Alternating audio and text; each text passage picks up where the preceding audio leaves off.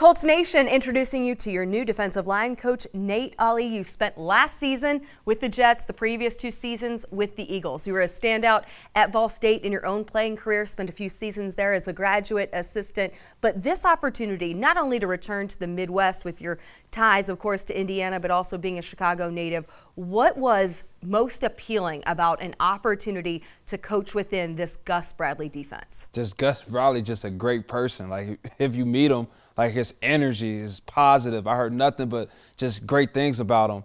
And this me and then us just being able to implement this new style of attacking. It's coming off the ball and attacking and and we talk, we telling the guys to take their seatbelt off, and we're just going on the defensive line. And that to me, that was exciting. Just first as Gus Bradley as a person, right? Great person. Then after that, just being able to implement this style uh, of defense.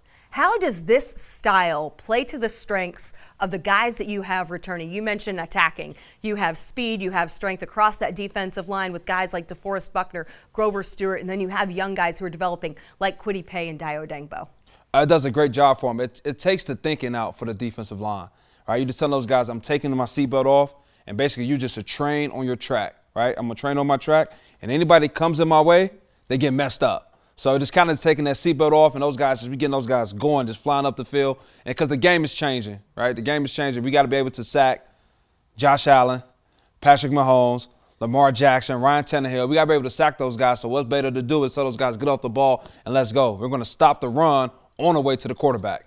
I know you guys have spent a lot of time studying the personnel, installing the playbook, and preparation for the OTA period, but Last year, the top two draft picks, Kwity Paye, Dayo Odeyingbo, you go to guys on the edge. Typically, it takes guys who are pass rushers maybe two, three, four seasons to really achieve their potential. As a coach, what do you implement day in and day out to help those guys make that leap in their second year? Also, guys behind them, too, like Ben Banogu, who continues to develop. Number one thing you talk about the guys just being able to just get off on the ball, right? Talk about get off. And then, two, you want to break everything down, right? Because sometimes, like in college, and those guys, you're just so much better than the guy. You just work with speed and run right past them.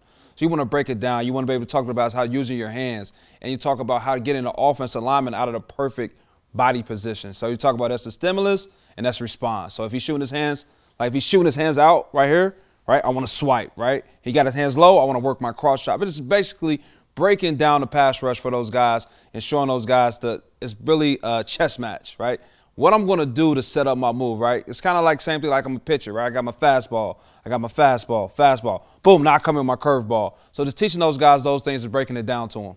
Who have been your greatest coaching influences that instilled that in you that you're now carrying into your own? Uh, one of my greatest coaches is actually he's the defensive coordinator at uh, Indiana University uh, Chad Wilt. Like he coached me at Ball State. He's one of the reasons why I got into coaching.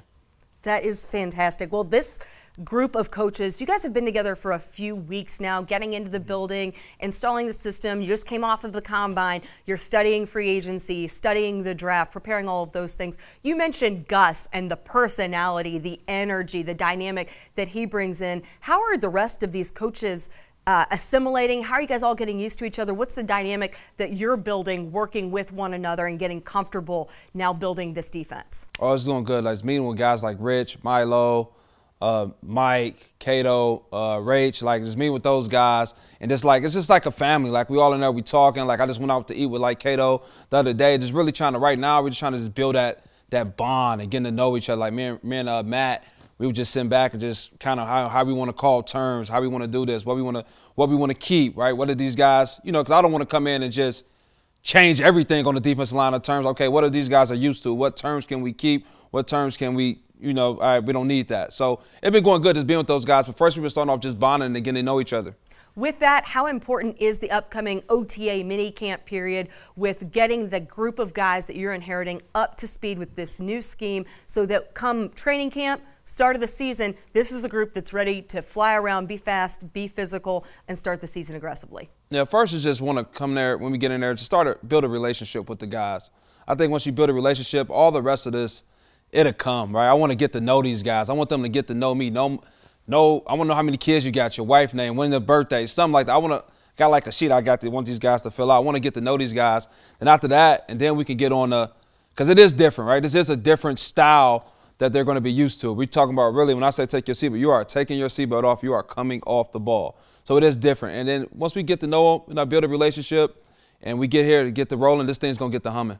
Hey, talking about the personal side, getting to know your personal side, you're not the only one within your household who has been a member of the Horseshoe. Your wife, Ambria, multiple seasons yeah. as a Colts cheerleader, including Pro Bowl cheerleader in 2020. How exciting is this for you, for your family, with the ties you have here to the Colts organization? Oh, it, it was great to just come back here. Basically, like Indy's like my second home. Like I got married right at Regions Tower uh, down here, and just being able to me and my wife to come back home so you could be her with her family, me closer to Chicago. Like I told her when we came up here on the interview, I said I am not coming back. Like when I, when I no disrespect to the Jets, but I said when I'm going back to the Jets, it's to clean out my office. Like we are getting this job, and uh, this it was just good. It was just good to be close to family. Hey, welcome home. It is great to have you. So excited to see you get to work with this defense. Thank you.